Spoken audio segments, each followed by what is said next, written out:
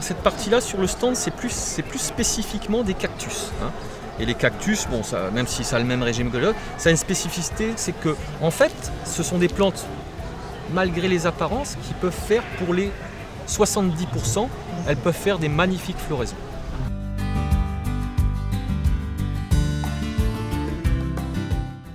En fait, ce sont des plantes. Si vous les mettez pendant la période de dormance de mi-octobre à mi-mars où il ne faut pas les arroser, si vous les mettez dans un endroit froid, style véranda, verrière, éventuellement fenêtre de garage, cabanon de jardin, endroit non chauffé, hein, vous pouvez les faire fleurir.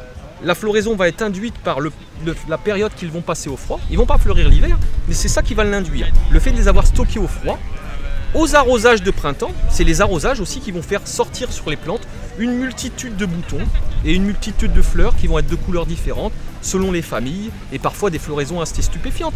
Quand on voit une plante comme ça, ça, sort une asperge comme ça qui sort de la plante et ça sort une, fleur énorme. hein.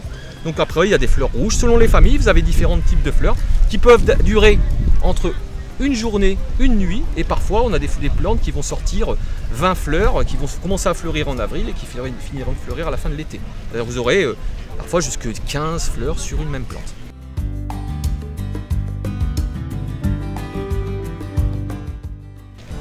Il faut éviter toujours cette histoire d'arrosage l'hiver. Pendant cette période de dormance de 6 mois, il faut éviter tout arrosage et il faut éviter euh, un surplus d'humidité. Hein. Il faut vraiment qu'elle soit sèche. Et dans ces conditions, on pourrait même dire que on va dire, pour beaucoup de cactus, à partir du moment où la terre est sèche pendant tout l'hiver, il y a plein de cactus qui pourraient même geler. Hein, les cactus les plus résistants prennent de l'ordre de moins 30. Il y a des cactus qui poussent sur la cordillère des Andes, dans des déserts américains, où les amplitudes sont énormes, mais où il y a du froid.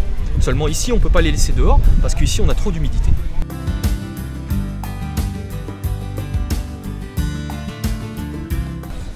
Un conseil malin pour les cactus, en fait, ce serait de pouvoir les mettre. C'est une plante qui rejette de l'oxygène la nuit. Donc, contrairement aux autres végétaux, ça a un cycle que je ne serais pas capable de préciser vraiment comment ça marche au niveau euh, biologique, mais c'est une plante, si vous la mettez dans une chambre, ce sont des plantes qui, au lieu de dégager du gaz carbonique comme font la plupart des plantes, dégagent de l'oxygène. Donc vous pouvez installer des cactus dans une chambre sans nuire à votre environnement. Ça c'est un petit astuce. euh, si vous voulez vous enrichir en oxygène, mieux respirer à la nuit, mettez des cactus à vos fenêtres de chambre.